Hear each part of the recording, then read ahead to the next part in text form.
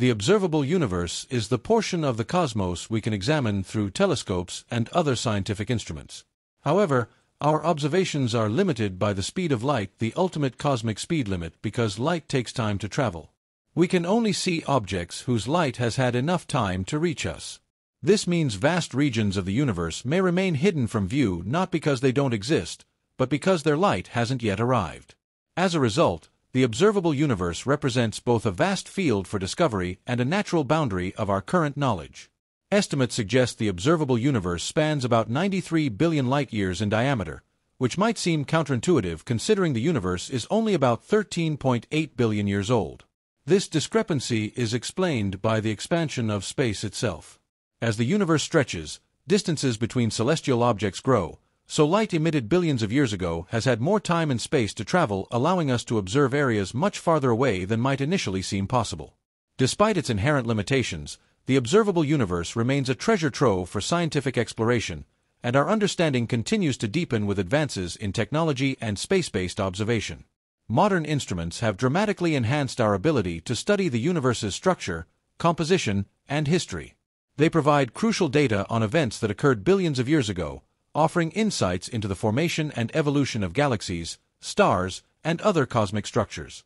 One of the most powerful tools in this effort is the ability to detect faint infrared light from the earliest galaxies, which lets scientists peer back to just a few hundred million years after the Big Bang. This allows us to see the universe in its infancy. A key phenomenon enabling this kind of observation is called redshift. As galaxies move away from us due to the expansion of the universe, the light they emit is stretched into longer, redder wavelengths. Instruments sensitive to these wavelengths allow astronomers to study extremely distant galaxies ones that formed when the universe was still very young. These observations have revealed vital information about the early rate of star formation and the processes that gave rise to the first galaxies. Understanding how stars ignited and galaxies evolved in those early epochs is central to building accurate models of cosmic evolution. Yet beyond mapping galaxies and examining ancient light, the question of whether life exists elsewhere in the universe remains one of the most compelling drivers of modern astronomy. For centuries, humans have speculated about extraterrestrial life. In recent years, the discovery of thousands of exoplanets planets orbiting stars outside our solar system has made the idea increasingly plausible. Using techniques such as transit observations and radial velocity measurements, astronomers have identified many of these distant worlds. Some share characteristics with Earth and orbit within their star's habitable zones regions where conditions might support liquid water. One intriguing discovery involves the detection of water vapor in the atmosphere of an exoplanet named WP96b. While this planet is not considered Earth-like, the presence of water vapor, clouds, and haze was unexpected and significant. It challenges current assumptions about what types of planets might be able to support life, or at least the ingredients necessary for it. Water is one of the most crucial factors in assessing a planet's potential habitability. Discovering it in such an unlikely place suggests that life-supporting conditions may be more widespread than previously imagined. Yet, even as we uncover more about what's within our observational reach, questions about what lies beyond continue to intrigue scientists. By definition, the observable universe is limited by the distance light has traveled since the Big Bang. But many cosmologists believe the actual universe extends far beyond this boundary. Some estimates propose that the total universe could be at least 10 superscript 2 superscript 3 times larger than what we can see. This staggering scale highlights how much remains out of reach and open to speculation. One of the most fascinating ideas to arise from the speculation is the concept of the multiverse the possibility that our universe is just one of many. Some interpretations of quantum physics particularly the many worlds interpretation, support this notion. In that view, every possible outcome of a quantum event actually happens each in its own separate universe. Though still highly theoretical and lacking direct evidence, the multiverse hypothesis has captivated both scientists and philosophers. Some believe it could explain why the physical constants of our universe appear finely tuned for the existence of life, while others caution that such theories, though elegant, may be untestable with current technology. Another puzzling phenomenon that may hint at something beyond the observable universe is known as dark flow. First proposed in 2008, dark flow refers to galaxy clusters moving in a uniform direction at speeds that current models of matter distribution struggle to explain.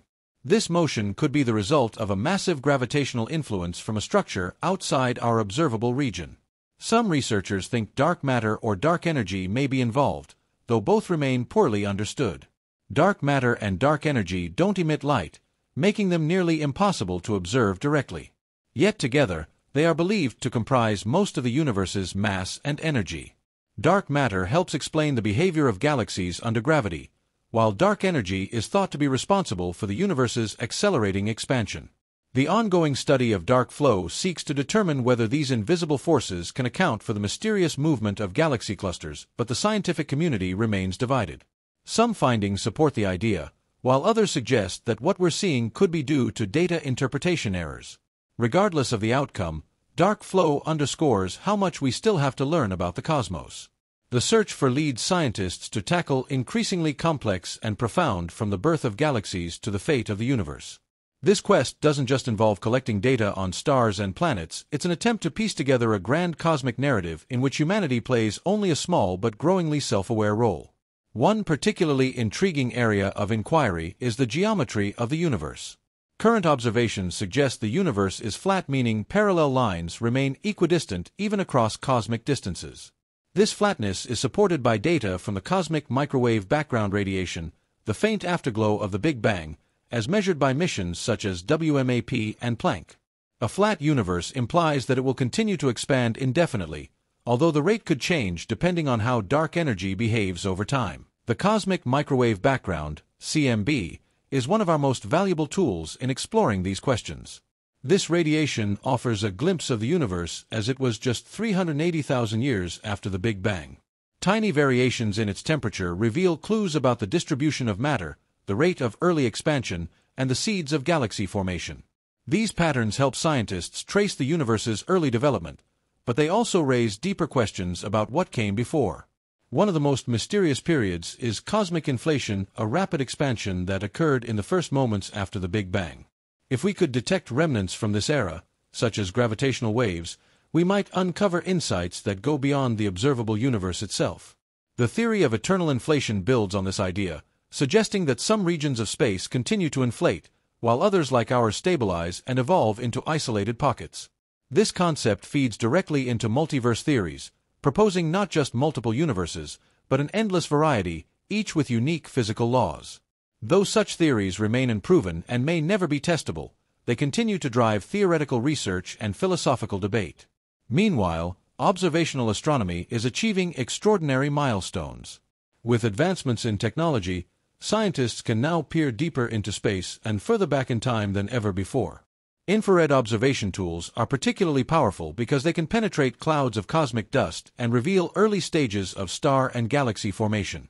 Recent findings have shown massive, well-structured galaxies that existed just a few hundred million years after the Big Bang far earlier than current models predicted. This challenges our understanding of how quickly matter formed complex systems, suggesting either unknown mechanisms were at play or our models, particularly regarding dark matter, need to be revised. These unexpected results illustrate the self-correcting nature of science. When reality contradicts theory, scientists must reassess assumptions and develop better explanations. For instance, it's possible that star formation in the early universe was far more efficient than expected, with dense clouds of gas collapsing rapidly under gravity.